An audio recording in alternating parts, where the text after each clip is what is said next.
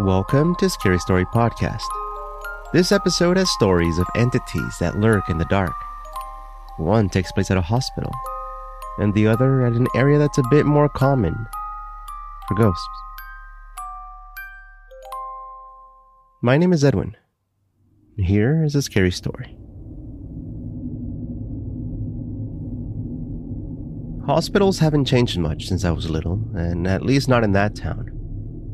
They still have the individual doctors setting up their offices after they go out to study in the city. The ones that are more attached to their family or to the place itself seem to always come back. And you know it too when they're leaving, and you can just tell that as soon as they get their diploma, they will be right back.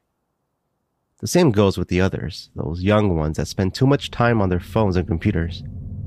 You just know they simply can't wait to get out of here. But when I visited that old place once again, I was surprised to see the paved streets. They used to be made of dirt. People were now wearing the uniforms, and you can tell which one worked at the bank and which one worked at the hospital. Everyone had a role now. Most of the buildings looked the same, though, run down and the paint peeling on the side of them. You know, the area that didn't face the street. That hadn't changed. But along with the same old hospital building, all of the memories of the recovery room were coming back. The story itself was a big deal, and it wasn't only mine, there were others too. When one of the candidates for mayor was hospitalized and was forced by the newspapers to stay in the recovery room just like all of the town citizens, he too had an experience in there. That's how it became big news. Though most of us already knew about it, through rumors and the stories that happened to a friend of a friend. I was that person in some cases, at least I think so, because I told everybody I knew about what I had experienced. I had gotten off a minor surgery procedure due to a broken arm when one of the neighbors jumped onto the same branch of the avocado tree and we both went straight down to the hardened dirt and rock as soon as it snapped. The other kid got a nosebleed from hitting his face against my skull, but still, in the end, I got the worst part of the incident. The pain was creeping in after some of the medication started wearing out. But mainly it was discomfort, not full on pain. My parents, aunts, and uncles were all there to see me, making a big crowd inside that open room with a dozen or so beds lined up against the walls, a handful on each side. There was another girl with her mom across from my bed looking at a magazine. I could tell the woman was annoyed, but the girl was smiling at seeing so many people inside that room for once. Once everyone left and the sun started to set, filling the white walls with that golden light, I started thinking about how terrible it was being there by myself. I would miss a soccer game, the next two days of school, and now even normal things would take longer to do.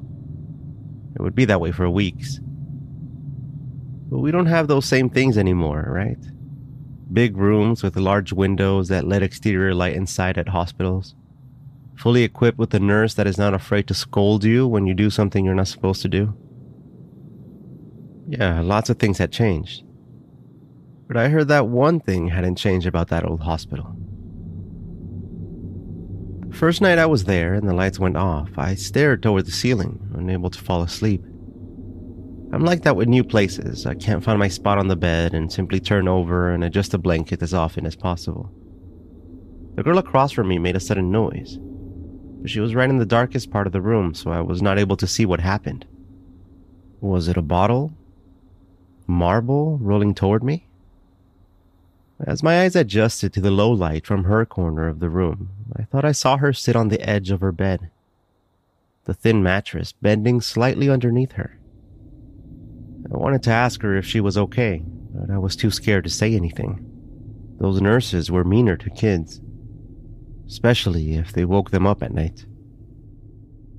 But the bend on the mattress went away as she stood up and walked toward the foot of the bed, looking directly at her own pillow. I saw her shadow get thinner as she turned to her side and walked toward the bed next to hers, blindly going bed to bed until she ended on my side of the room and approaching the bed I was taking up. There was more light where I was, and that's when I was able to tell that the girl was far too short to be the same girl I had seen during the day. Her hair was dark and her skin was pale. Yet she seemed to be walking around like a blind person, feeling the edges of the beds, almost as if she was looking for something. She was two beds away from mine when I saw her standing at the foot of one, standing still with her arms to her side, before suddenly reaching toward the blankets as if expecting someone's legs to be there. I didn't know who she was, so I simply laid there, frozen, trying desperately to get my legs to react so that I could pull them closer to me for when she came. She was on the bed next to mine when I got a clear view of her. Young. She must have been six years old, her head barely reaching the top of the frame of the beds as I saw her round face, every part of her skin glowing against the light from the outside. Everything except her eyes. She turned toward me. I saw her float toward the edge of my bed once again, and entering the dark part, most of her face and body hidden from sight. I saw her arms stretch toward the edge of the bed and reach for the bed sheets. She knew there was somebody there. She smiled. I tried to scream, but instead I remember crying until I fell asleep, not seeing where the girl had gone or if she was still there. My parents had come to see me early in the morning, with the doctor speaking with them next to my bed. The girl on the other side of the room kept looking my way as she spoke to her mother, or whoever the other woman was, next to her. I started sitting up on my bed, and the doctor was still talking to my mom while Dad listened with his arms crossed. The woman and the girl exchanged a few words before the woman stood up and walked toward me, telling the girl that she would ask me about whatever they were talking about seemingly frustrated. Can you tell little Mary here that you didn't see a little girl walking around here last night? My eyes opened wide. The doctor turned my way. Mom and Dad were confused, but I could tell it was my turn to say something. The doctor chuckled. The ghost girl, oh yeah, watch out, he said. He had probably heard that story enough times and was just as tired of it as the woman who asked me that question. I saw her, I replied. The girl across the room stretched her arms forward and seemed to be relieved to hear my answer. It took a long time before anyone figured out the real story of the ghost of the hospital room. But most believed that it was the daughter of a man who had gotten sick and was staying at the hospital. She would come by and visit every day, by herself.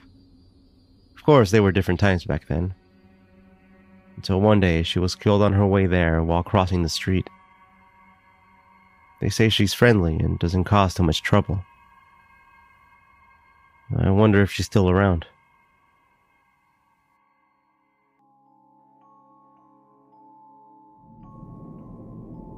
I was out by the cemetery where they had these huge apple trees. It sounds bizarre to say those things right off the bat, but as kids, Apples and fruit trees were the coolest things ever because they were basically free food. We didn't grow up with a lot of money. So the neighborhood kids and I climbed to the top whenever we saw that the cemetery gates were open, which was rare. Visitors had to enter through a little security booth thing that they had, but the gates were reserved for when cars were coming in with a coffin inside. My friend knocked on the door right after I had gotten home from school, telling me that him and two other kids were going to go to the cemetery and to grab my shoes. So I did. I grabbed an old canvas bag and my shoes and took off running toward the cemetery to get some apples. It was a thing we had done dozens of times. This time, when I was on top of one of the large branches, I saw a truck coming in down toward the long road that led to the other side of the cemetery. We all just sort of stopped and looked in the truck's direction. I'm sure we were all wondering who was inside. For some reason, we didn't seem to mind all the headstones around the trees where we were hanging out. I heard some apples fall to the ground as Mike, one of the older kids from the group, yelled out, Look! I looked right up toward him and then followed his finger down to the side of one of the headstones. There was a group of them there, and I'm not sure what you call them, but they were like stalls with text etched on the sides of them. I thought they were like gravestones of the rich people in town, but one of the other kids called them dead houses. So that's what I knew them by. Right on the side of one of those dead houses came out a silhouette, dressed in a white suit and a golden necklace. It was an old man, it looked like, with white hair and his arms at his side.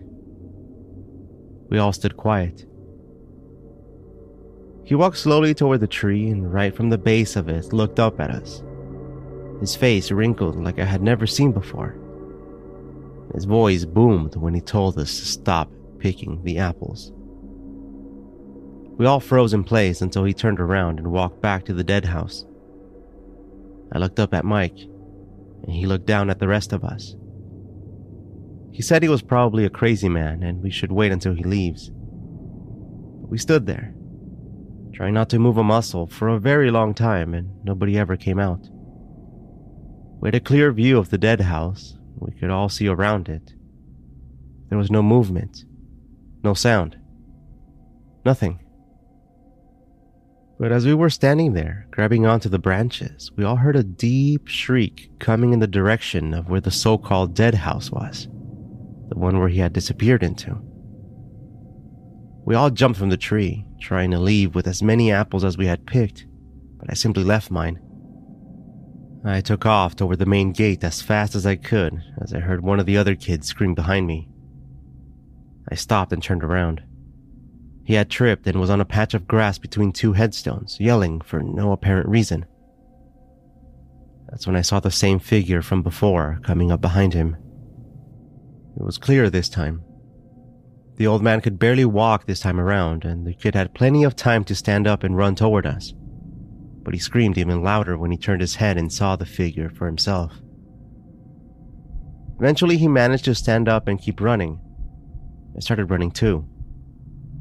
We saw a group of adults over by the other side of the cemetery, and we all sort of agreed to head toward them and get help. The group that was standing there didn't seem to notice us, their heads bowed down as they lined up in a semicircle. I was trying to hold my breath as to not make a sound and disturb their prayer as I walked up toward them. Some had their eyes closed, yet a few of them seemed to notice us. Without turning around, they simply opened a gap between them so that we could join them. I looked up at one of them as he moved aside, but before I could tap him on the arm, Noticed the open coffin in the middle of them. The corpse laying there with his mouth slightly open his wrinkled face, his white suit clearly visible, the gold necklace still around his neck.